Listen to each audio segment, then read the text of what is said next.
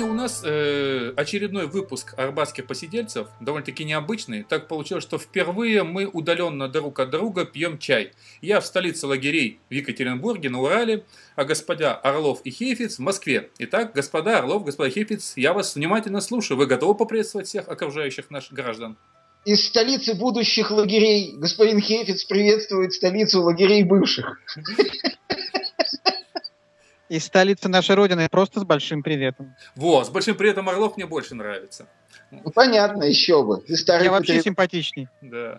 Мы сидим теперь, собственно говоря, удаленно друг от друга, но все так же пьем чай. А темой я предлагаю сегодня обсудить то, что, можно сказать, уже стало, как принято говорить в сети, баяном. То есть то, что уже обсуждено давным-давно и даже было куча пародий. Это, так сказать, поэты и цари, вот, это пресловутая тема, как сперва один музыкант из Санкт-Петербурга сходил к одному царю, вот, и они не договорились, и как другие музыканты э, точнее, даже никак не знаю сказать, тут, э, и другой царь набился к другим музыкантам в гости, вот, те там попили пиво, и тоже, собственно говоря, никто ничего не добился. Резонанс от встреч абсолютно разный. Мне бы хотелось вот узнать мнение по этому поводу той и другой встречи господ э, Хейфица, доктора Хейфица и господина Пейндждауна Орлова вот, по этому поводу, и по поводу первого, по поводу второго, и вообще по поводу взаимоотношения творческой интеллигенции, не только это будут у нас поэты, композиторы, там, певцы, а вообще творческой интеллигенции и власти. Насколько вообще корректно и хорошо э, вот такое взаимодействие, такое тесное, э, скажем так, как вот это вот, как эти посиделки, еще что-то, э, дружба, сотрудничество и так далее. Кто начнет? Ну, я... давайте, давайте для начала уточним. А что мы понимаем под первой встречей? Это визит, э, встречи Путина с творческой интеллигенцией? Да, это его встреча с Шевчуком, да? Да, да, да. Ну, не встреча с Шевчуком, где Шевчук, скажем так, э, да. э, сказал некоторые слова, которые до сих пор продолжают цитировать. Понятно. А вторая, соответственно, это встреча президента. Да, Макаревича и компании других музыкантов э, с президентом Медведевым в, в, в этом блюз-кафе. Понятно. Ну, так уж получилось, что вроде как начал я. И пока Хефиц не перебил, что, конечно, является чудом, я продолжу. Я не буду, не буду, клянусь, не буду. Вот я так и знал, что это случится. А, Все-таки, а, на самом деле, встреч-то было несколько больше. А, был, была встреча Бориса Гребенщикова со спикером парламента Грызловым. Крайне странная. И не только это. Просто последние две, о которых мы говорим, они, в общем, более на слуху и более как-то вот действительно тиражированы, что ли. Я хочу вот что сказать. Думаю, что э, надо, надо делить. Бывают встречи и встречи. Э, например, если президент, как в случае с Медведем это было, захотел э, увидеть конкретных музыкантов, да, прийти к ним в гости, то на месте музыкантов говорить нет, потому что ты президент, и мы с тобой встречаться не будем, глупо. Нужно встречаться. Но вести себя соответствующим образом. Каким? С достоинством. И больше ничего. Нужно просто понимать, что перед тобой во время этой встречи не президент, а человек, который хотел с тобой встретиться и поговорить, возможно, о музыке, возможно, не только о музыке. Но никакого сверхпиетета быть не должно. Иначе это, превращается во что-то иное. Как правило, очень противное. И совсем другое дело, когда президент приглашает к себе кого-то. Вот тут большой вопрос, ходить или не ходить. А, разумеется, каждый отвечает на него по-своему, и здесь не может быть, в принципе, никакого единого закона. Я считаю, что люди, которые не пошли по своим причинам, ну, такие как Быков, там, кто-то еще, повели себя достойно. Я считаю, что те люди, кто пошли, в частности Шевчук, повели себя крайне достойно. То есть, на мой взгляд, тут не может быть какого-то единого ответа. Надо ходить или не надо ходить. Смотря в каком формате встречаться, с кем, но главное, как себя вести. Юра? Э, можно, да? Отлично. Нужно. Э, значит, эм, сейчас я постараюсь. Э, Саша сказал замечательную фразу в самом начале. Он сказал, встреч было несколько. Э, по крайней мере, она была не одна. Правильно я тебя понял, Саша? Да. Была да. не одна. Так вот, давайте начинать не со встречи, у меня есть предложение, начать перечень этих встреч не со встречи Гребенщикова с Грызловым, а со встречи э, философа Диогена э, с Ираном Дионисием. Э, тиран Дионисий показывал философу Диогену свои замечательные мраморные палаты, свой потрясающий дворец. И в частности он показывал ему пол, который был выложен совершенно уникальной мозаикой. После того, как тиран Дионисий показал философу Диогену свой пол, философ Диоген смачно плюнул тирану Дионисию в лицо. Взбешенный тиран схватился за кинжал. Диоген мягко положил свою руку на рукоятку кинжала Дионисия и сказал ему «Прости, просто плюнуть больше было некуда». Э, вторая встреча, о которой хочу вам напомнить, это встреча Александра Сергеевича Пушкина и Николая Первого. Как известно, во время этой встречи э, две упомянутых нами фигуры говорили о разном и о многом.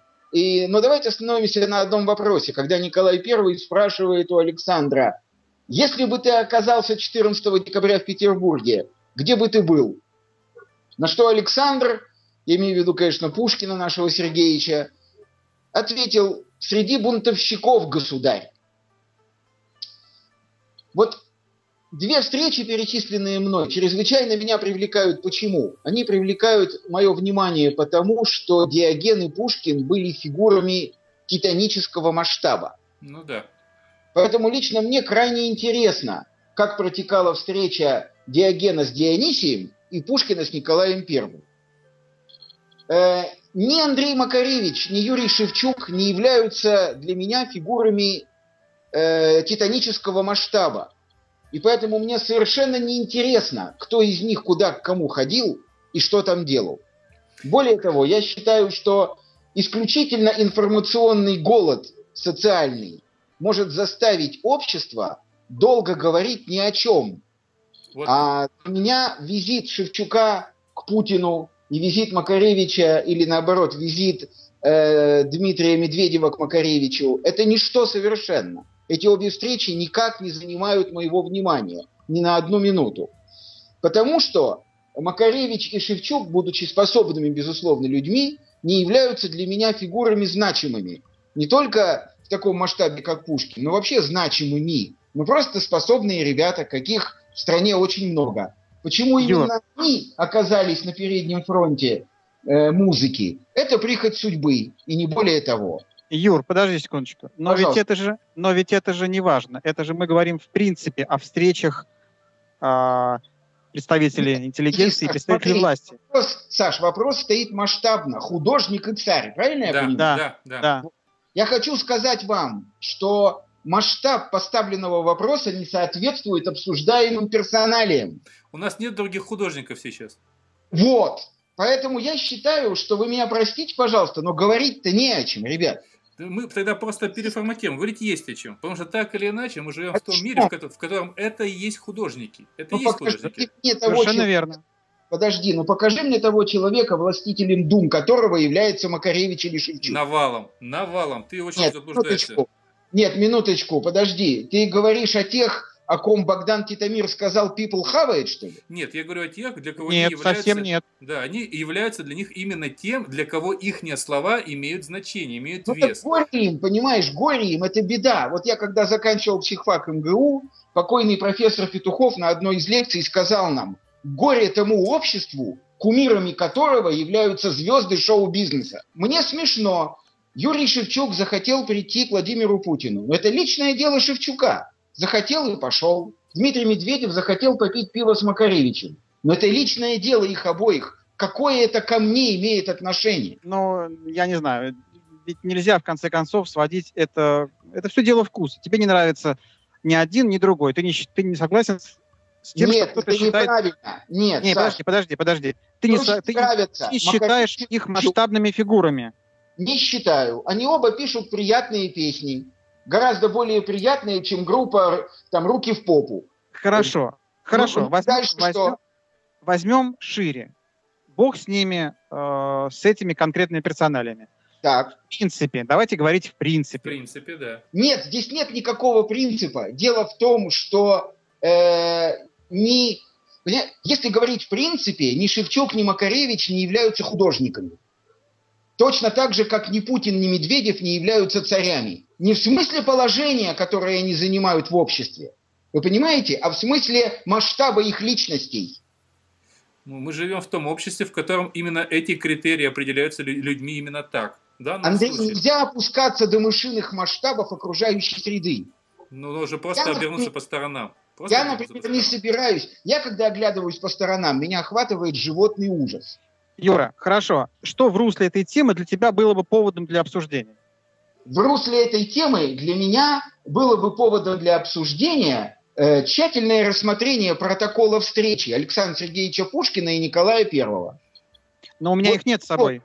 А, нету с собой. Вот тут вот, если бы такой протокол у нас был, или вот, например, был бы полный протокол встречи Дионисия, скажем, и, значит, Диогена, вот тут наверняка было бы о чем говорить, потому что художник, человек, оказавший влияние на многовековое развитие мыслей после него, и царь, то есть действительно человек, оказавший влияние на, ну скажем, многодесятилетнее после него развитие греческой цивилизации. Они встретились и говорили. Вот это интересно.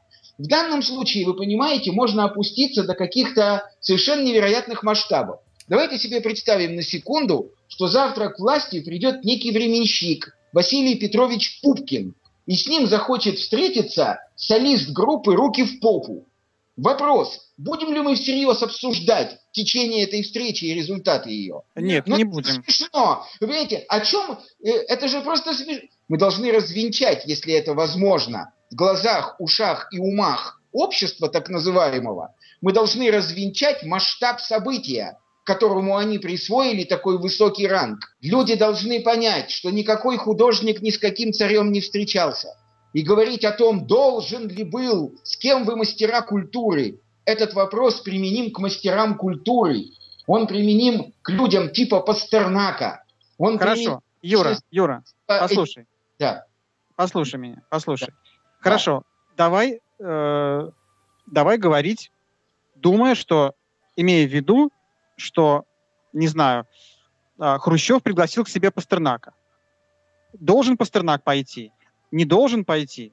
Вот об этом мы говорим. Отличный вопрос. Значит, к сожалению или к счастью, ответ на этот вопрос должен быть абсолютно отдан на откуп Пастернаку. Тогда опять получается, ни о чем, да. Нет, говорить есть о чем, потому что разговор между Пастернаком и не Хрущевым, а Сталиным, как вы помните, имел да. место быть. Правда, не при личной встрече, а по телефону. Да. И в этом разговоре, может быть, вы помните, Пастернак сказал Хрущеву, надо встретиться, о, он сказал Сталину, надо встретиться, поговорить. О чем, спросил Сталин. О многом, ответил Пастернак. О жизни, о смерти. Что сделал Сталин после этого? Ну, это известно. Он положил трубку. А как известно, разговор шел о судьбе Мандельштама. Да. Понимаете, да? Так вот, Пастернак ясно дал нам понять, что он бы на встречу со Сталиным пошел. Более того, Пастернак рассказал нам, какие темы он поднял бы в этом разговоре. Он говорил бы с тираном о жизни и смерти. Как ты относишься к этому поступку? Как, Потому, к высшему он пошел. проявлению, как к высшему проявлению героизма. Потому что в данном случае Пастернак поступил бы как человек, стопроцентно осознающий свою миссию, уверяю вас, он прекрасно представлял бы себе, что вышел бы из этого кабинета в совершенно иную дверь. Ну, или не вышел бы. Сталин был и человек парадоксальный. Да, да, да, да. Понимаете, вот, вот. Вот То здесь мы, когда речь идет о художнике с большой буквы Х и о царе с большой буквы С, мы должны понимать, что только художник сам решает, идти ему к царю или не идти. То есть ты не можешь, в общем, сказать, что художник при любой возможности должен, обязан говорить с царем. Всегда есть о чем поговорить. Нет, я просто подчиняюсь очень простому правилу психогигиены. Я не требую от людей поступков, на которые я не способен сам. Ты знаешь, я хочу маленечко другую все-таки уклон дать нашей беседе и постепенно все-таки будет сворачиваться, мы уже говорим аж 18 минут. Э, я хочу дать вот такой уклон беседе именно отношения людей, масс, то, что ты тут там обозвал информационным поводом к происходящей встрече. Меня вот в этом случае даже волновал не столько ходить, не ходить, это как бы тоже вопрос на самом деле, а вопрос именно ситуации. Э, Юрий Шевчук э, был на этой встрече, ну да пошел, зачем пошел, это не важно, важно, что там сказал некие фразы, и И после этого это до сих пор продолжает цитироваться, что вот как героически было сказано.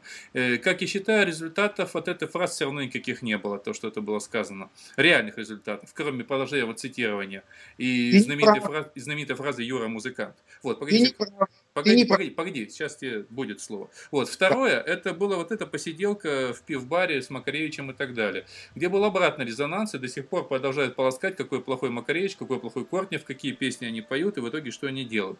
Меня вот больше волнует именно ситуация э, именно людей к обсуждению всего этого. Вот это самый информационный повод. Для меня, вот ты вот правильно там очень долго по этому поводу раздарялся, для меня этого информационного повода нет. Захотели, пошли, не захотели, не пошли. Для меня они всего лишь музыканты, лабухи. Вот. Совершенно верно. Да, то есть, соответственно, это дело музыкантов, и, соответственно, не надо, вот то, что там так иначе упоминалось, с этим полностью согласен, я писал у себя в блоге об этом, что на самом деле равняться на музыкантов, наверное, глупо. Они не политики, они не должны нести там какое-то разумное, доброе, вечное, еще что-то такое. Они могут писать хорошие или плохие стихи, хорошие или плохие песни, но они всего лишь музыканты, лабухи, и все, не более того. Вот примерно Прав... такой уклон. Ну, все правильно, просто я хочу тебя поправить, в смысле возразить тебе. В том давай, смысле, давай. встреча Шевчука не дала никаких результатов. Она дала огромные результаты. Дело в том, что Шевчук хотел пойти и сказать, угу. и он шел и сказал. Вот и результат. Ну, вот только такой. Да, а какой еще человек захотел пойти на встречу с премьер-министром и высказать ему несколько своих мыслей? Пошел, высказал. В этом как... я с тобой согласен, да. Вот он добился результата сказать того, что он хотел. Я имею в виду о результате именно по теме. Нет, понимаешь, если под, если под результатом иметь в виду некую реакцию со стороны господина Путина да. на слова Шевчука, то это какая-то непроходимая глупость. Потому что нужно понимать, кто такой господин Путин. И тогда все станет ясно. Никаких результатов и быть не могло. Значит, секундочку, угу. секундочку. Значит, э, я считаю, раз уж мы заговорили очень конкретно о конкретных двух людях, я считаю от того, что Шевчук сказал и пошел, это, это возымело колоссальный эффект. Правильно. Колоссальный, колоссальный эффект. Для кого, Саша? Который для, для, ну, для всех, кто Нет. способен слышать, способен слышать Шевчука. и видеть, и осязать. Ничего подобного. Да, не сказать его. Во-первых, это все не так просто. Сделать то, что сделал Шевчук. Это первое. Второе. Это услышали люди, это транслировалось, что Путин попал в дурацкое положение, что Путин выставил себя так, как он себя выставил, отвечая, это все не, не фунт изюма, как говорится, это все серьезные вещи. Не хочется говорить банальности, но немножечко воды, немножечко камня точит. Это мужественный, хороший, качественный поступок. И говорить о том, что он не возымел никакого действия, нельзя. Вы чего ждали? Какого действия? Что через секунду все изменится? Это смешно. Саш, я хочу возразить тебе, э, так сказать, э, двумя, так сказать, аргументами.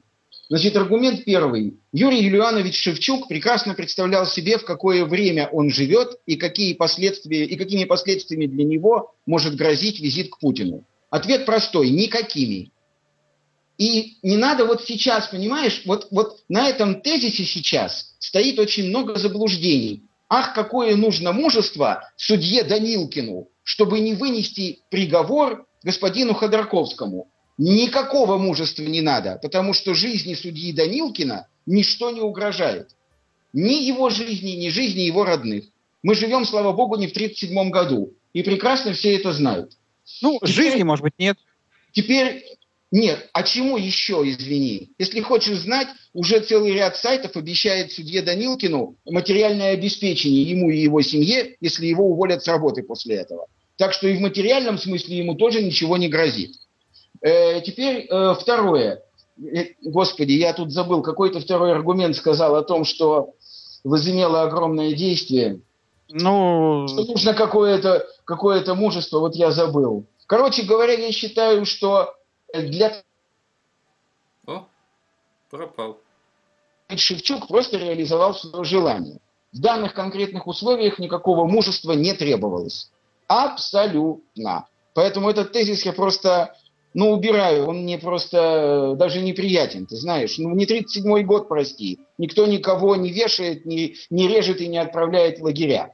Вот тут можно э, маленькую ремарочку, секундочку буквально. Да. Мне вот как раз вот нравится именно то, что ты сказал правильно, про смелость, про результаты и так далее. Потому что никто никого не режет, всем позволяет все обсуждать. А я вот всегда вот говорю такую вещь. Насколько люди, которые вот так смело обвиняют ли Макалевича, хвалят ли Шевчука, насколько они готовы физически его поддержать, выйти на площадь, скажем так, с теми людьми, которые выходят, да? Я всегда цитирую Галича в этом случае, да? Можешь ли выйти на площадь? Хочешь выйти на площадь тот назначенный час? То есть не болтать по интернету, не болтать там где-нибудь на кухне, а вот реально что, вот, заняться чем-то. Ведь вряд ли более 5% реально поменяет слова на реальные действия.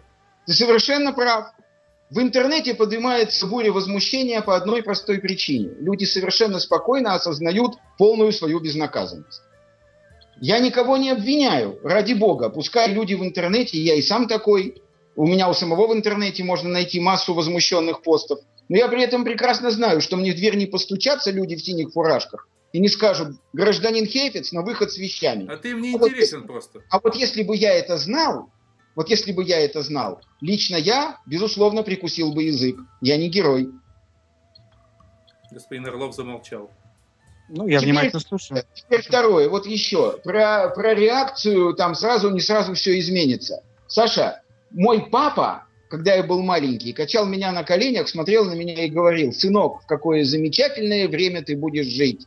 Мы страдали, мы воевали, мы голодали. Все это ради того, сынок, чтобы ты жил при коммунизме. А моему папе, его папа, качая его на коленях, на чистокровном иврите тоже говорил что-то такое. Сынок, сейчас у нас погромы, нас бьют, но я уверяю, что Господь нас защитит. И ты-то, сынок, уже будешь жить без погромов.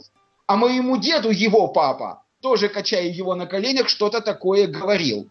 Я считаю, что самое отвратительное, что мы можем сделать в своей жизни, это терпеть ради счастья своих детей. Не будет никакого счастья никаких детей, если мы будем терпеть. Другое дело, что усилия масс протестные направлены, на мой взгляд, совершенно не в ту сторону. Протест каждого из нас должен быть направлен в самого себя. В самого себя. Сделать что-то каждый человек может только с самим собою. Чехов, понимаешь, он рекомендовал не из соседа вытравливать раба по капле, а из самого себя. Да. И, кстати, опять же, реальный хороший пример, который не устаю приводить э, постоянно в всевозможных там, не знаю, публикациях и так далее, это Галич. Человек, который мог иметь э, определенное мужество, потерять все, потерять положение, деньги, родину и так далее, чтобы сказать то, что он хотел сказать. Понимаешь, не просто вякнуть, да, а конкретно сказать. Еще замечу, Андрей, значит, в ремарках, говорить что-то, не состоя на тайном пайке в Комитете государственной безопасности – как это делали некоторые товарищи, фамилии которых я называть не стану, да, а совершенно четко зная, что ты один против стены. И Галич таки потерял все, включая жизнь. Да. Поэтому еще раз говорю, что можешь ли ты выйти на площадь и хочешь ли ты выйти на площадь в тот назначенный час. Только в этом случае. А в том случае лучше ну, не болтать попусту, не сотрясать воздух и не обвинять Макаревича, обычного музыканта ни в чем не надо его обвинять. Он прекрасно сказал, я не понимаю, почему от меня требуют героизма. Я не хочу быть никаким героем и вождем. Что-то такое он сказал. Да. Совершенно правильно сказал, молодец. Замечательно.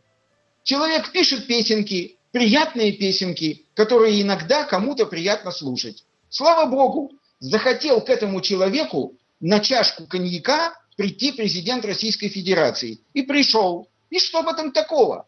Ты знаешь, это повод для разговора, смешно. Ты знаешь, насчет этого дела, мне как раз вот нравится фраза, в одном из интервью он упомянул, что когда у него закончились посиделки, э, президент ему сказал, ну что, говорит, достанется, говорит, вам завтра от окружающих? Он говорит, и Макаревич говорит, тогда, говорит, тогда говорит, я и подумал, говорит, э, что, говорит, страна, в которой э, кто-то должен отчитываться за свою встречу с президентом, глубоко больна. А я скажу, какая это страна. Это страна, народ, который почитает своими кумирами не психологов, и не философов, и не ученых, а звезд шоу-бизнеса. Да, раз, разная степень шоу-бизнесности. Да, вот и все. Я думаю, Поэтому, принципе, как говорят индейцы, хау, я все сказал. У меня тоже хау. Господин Орлов? Ну, а что мне остается? Нет, может, у тебя тоже какой-то спич. Тут очень много мы говорили, ты говорил очень мало. Может, у тебя еще сказать? Мы-то вон как накричались. Нет, ну, понимаете, ну, Юра говорит о масштабах, которые ну, это чистая, это чистая теория, да. Мы, я говорю о реальной конкретной жизни. Вот какая она есть, так, Сашенька, о том я и говорю. Сашенька, не теория. Вот если бы к президенту или к Путину на разговор пришел Даниил Гранин, например, я просто на вскидку беру первую фамилию, которая попалась мне. Их, кстати, осталось очень мало, да? Вот если бы Даниил Гранин, к примеру, захотел бы поговорить с Путиным или с Медведевым, я крайне внимательно читал бы стенограмму этой беседы. Юр, а, значит, э, дело не в этом. Значит, дело в том, что лично я, например, лично я к Шевчуку отношусь довольно серьезно. Поэтому меня эта встреча, именно эта встреча, э, некоторым образом задевает. Так Поэтому... это же вопрос вкуса, Саш. Ну ты серьезно, ради бога, я нет. Но это же ну, вопрос вкусов, тут спорить бессмысленно. О чем? Ну так, ну так правильно. О том и речь. Я предлагал перейти к более общим, да, каким-то тезисам. Вот да, так тему. мы перешли к ним. Мы же говорили на достаточно общо, как мне кажется. Мне кажется, мы уже пошли по кругу в определенном смысле. Ну, э, как, вы знаете, вы знаете, я просто тут вспомнил одну цитатку, вот, э, опять же, про Диогена, которого упоминали. Я не помню, с кем встречался из великих э, царей тоже. Кто-то приехал к нему, увидев, что он живет в очень неуютном месте, сказал... Македонский, что... македонский. Да, да, я тоже думал, что македонский, он так как не помню точно, кто не стал говорить. Он говорит, что, говорит, я могу тебя сделать, великий? Он ему сказал, ты можешь для меня сделать, просто отойди, ты загораживаешь мне солнце. Вот, Вот и все. Я думаю, давайте на этом поставим точку, выпьем зеленого Друзья чаю, кофе. Жалко, что только онлайн. Да. Ну, как можно, так и выпьем. Скоро уже буду в Москве. Давай, приезжай, дорогой. Да? Спасибо, Окей. ребята, было здорово. Счастливо. Да, всем, всем пока.